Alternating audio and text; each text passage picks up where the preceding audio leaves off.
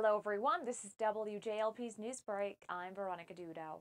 Governor Phil Murphy delivered his first State of the State address in Trenton. He outlined his vision to reform New Jersey's tax incentives programs and highlighted initiatives he said continue to build a stronger and fairer Garden State. It has been 10 years since the miracle on the Hudson. On January 15, 2009, U.S. Airways Flight 1549 took off from New York City's LaGuardia Airport but collided with a flock of geese that caused both engines to stop.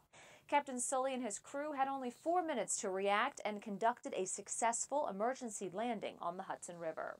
HBO's Long in the Works Perry Mason limited series from executive producers Robert Downey Jr. and Susan Downey is moving forward. Several men have starred as the legendary attorney over the years, but the most well-known portrayal was by Raymond Burr, who starred in the CBS TV series from 1957 until 1966. For more on these stories, visit app.com.